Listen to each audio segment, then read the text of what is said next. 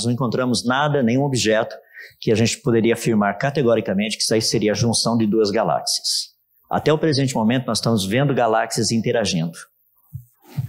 De todas as galáxias estudadas, a estrutura delas é de uma galáxia, galáxia que não teria passado por uma interação catastrófica, que é o que a gente chama.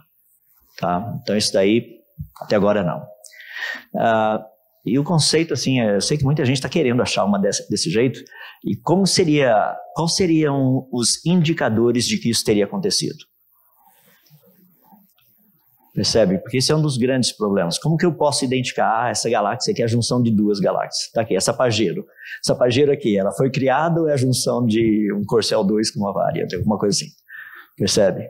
Então, até o presente momento, a resposta é não. Respeito à primeira pergunta, ah, quando você estuda, assim, o pessoal que trabalha com a teoria do Big Bang, a proposta principal é aquele período logo no início, onde o universo teria começado do tamanho de um próton, significa 10 elevado a menos 15 metro, tá? isso é o tamanho do negócio, e teria literalmente expandido até o tamanho da nossa galáxia, cerca de 100 mil anos-luz de diâmetro, num período de tempo que seria o número 0 ponto mais 42 zeros e o número 1 segundo. Isso significa que qualquer tipo de radiação ali dentro, radiação eletromagnética, por exemplo, teria que ter se expandido também a uma velocidade de 10 elevado a 60 quilômetros por segundo. Rapaz, isso é instantâneo.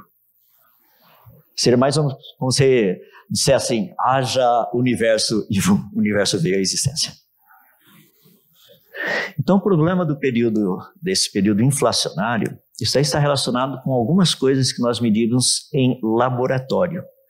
Se você pegar, por exemplo, o CERN, fica lá, lá na, na, Suíça praticamente, e você der uma olhadinha o que eles estão avaliando, é quanto tempo demora para esse negócio decair? Quanto tempo demora? Essa é, essa é a lógica por trás de tudo isso. Então, nós estamos trabalhando, nós eu digo assim, eles têm trabalhado nessa pressuposição que o universo teria começado tudo dentro de um pequeno pontinho, tá?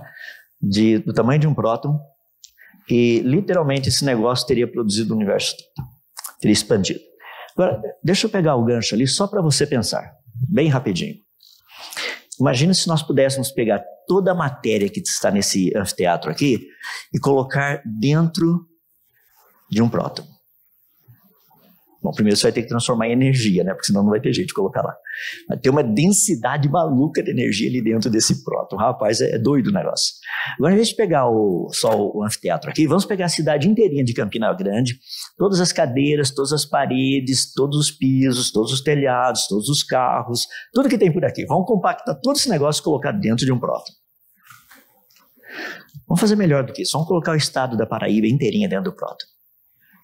Melhor ainda, vamos colocar o Brasil inteiro dentro do próton. Não, vamos, vamos um pouquinho mais. Vamos colocar o planeta Terra dentro do próton. Não, não, peraí. Vamos fazer justiça. Vamos colocar o sistema solar dentro do próton. Não, peraí, peraí. Vamos fazer, vamos fazer a coisa certa. Vamos colocar a nossa galáxia inteira dentro do próton. Não, peraí. Vamos colocar o universo dentro de um próton mas vai ter o universo numa casca de nós. E o autor já sabe que ele estava errado. Você fala, mas como?